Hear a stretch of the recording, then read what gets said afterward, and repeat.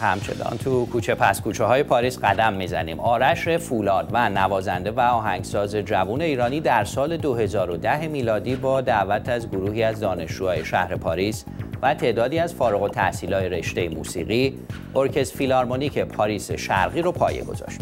او که پیش از اون گروه کر بهار رو هم شکل داده بود با کنار هم قرار دادن این دو گروه به اجرای قطعاتی از موسیقی کلاسیک و سنتی ایران پرداخت.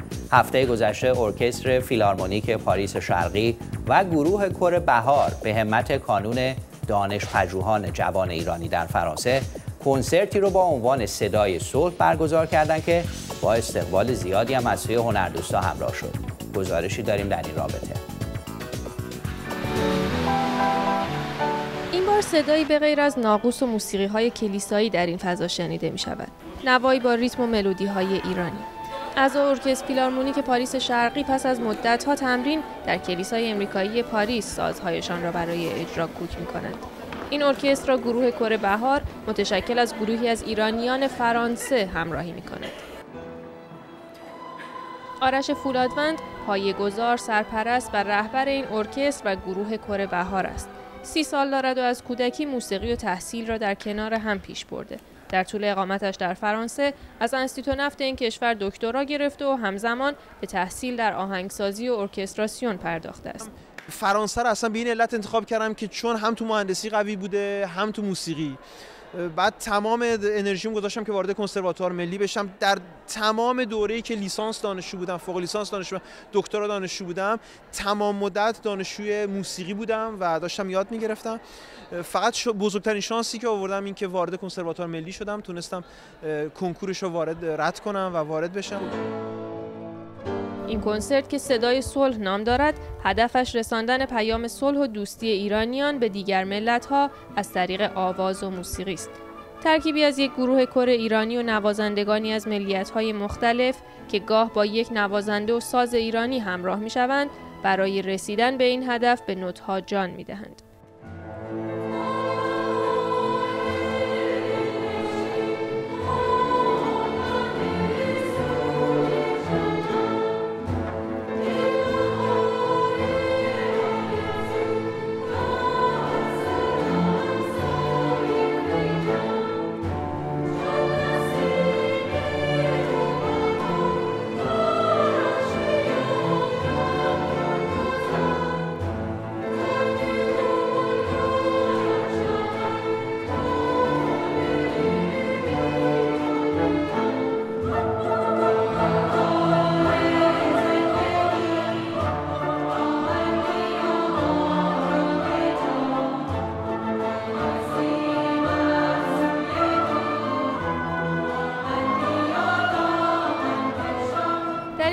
قطعاتی از آهنگسازان به نام ایرانی اجرا و با استقبال بسیار روبرو شد. آثاری همچون بهار دلنشین ساخته روح الله خالقی با شعری از بیژن ترقی و یا چین با ترانه ای از علی اکبر شیدا و آهنگسازی فرامرز پایور.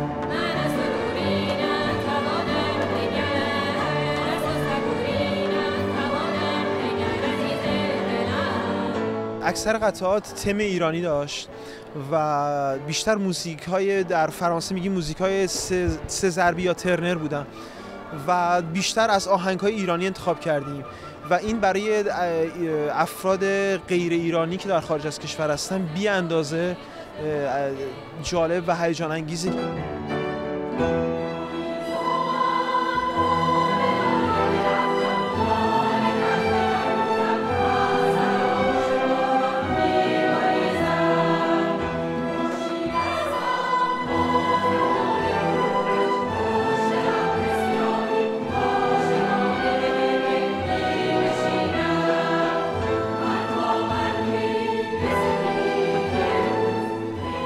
قطعه به نامهای خورشید و زنان از ساخته های آرش فولادوند هم در این برنامه اجرا شد.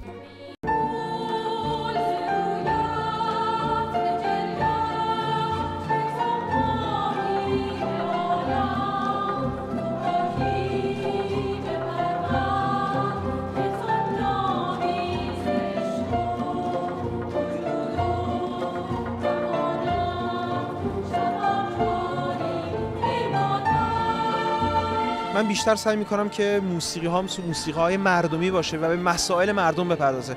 آهنگ خورشید که باز خبر از گشایش تو زندگی مردم خبر از آزادی خبر از اتحاد مردم میده باز خیلی برای مردم جالبه. یا مثلا آهنگ زنان که مثلا دیدید که باز انتهای ارکستر کنسرت ازمون خواستن که دوباره تکرارش کنیم. مثلا آهنگی که من به وضوح لغت استفاده کردم که از زنان دوست دارم به کار ببرم ولی به خاطر ساختارهای فرنگی به کار نمی‌برم. مثلا میگن که زیباییم با روحی آزاد.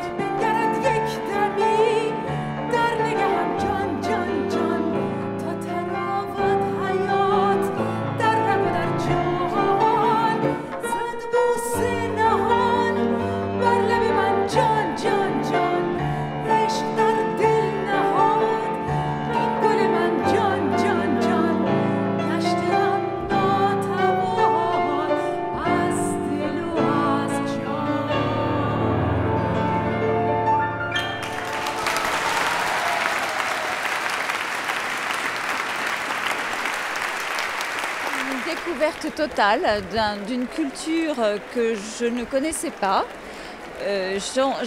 برای من یک کشف اساسی از فرهنگی که نمیشناختم بود من نوعی شعر به شدت خاص و ظاهرا بسیار نزدیک به طبیعت رو کشف کردم. چیزی که من رو خیلی تحت تاثیر قرار داد قدرت صدای خوانندگان گروه کور بود که علیرغم تعداد کمشون تمام احساسات و عشق به مردم کشورشون رو بیان می‌کرد.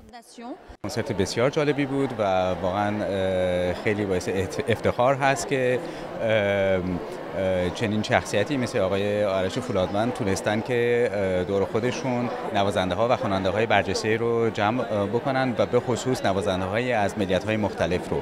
خیلی عالی بود. یعنی خیلی نوستالژیک بود. بعد چیزی که خیلی باور نکردنی بود این که توی توی همچین مکانی توی کشوری که سالهاست ما دوریم از از وطن این صدا رو میشنویم خود وجود آدم رو خیلی گرم می‌کنه. تلاش زیادشون با امکانات کم موجب شد که ما باعث افتخارمون باشه امشب. و می‌خوام به هر کدومشون دونه دونه تبریک بگم برای امشب. فرهنگ ایرانی یک فرهنگ فرهنگی ستایشگر هنر ستایشگر زیبایی ستایشگر دوستی و دور از هر گونه ستیزگری و جنگ. و چه نمادی بهتر از شعر و موسیقی؟ موسیقی ایرانی می‌تونست در حقیقت این پیام رو برسونه. هرچند ارکستر فیلارمونیک پاریس شرقی و گروه کر بهار پیش از این هم برنامه هایی در پاریس اجرا کرده بود اما کنسرت صدای صلح در پاریس آغازی است بر راهی که این گروه جوان برای رساندن صدای موسیقی ایران در پیش گرفته است. این گروه به زودی همین کنسرت را در دیگر نقاط پاریس برگزار خواهند نیلوفر پور ابراهیم صدای آمریکا پاریس.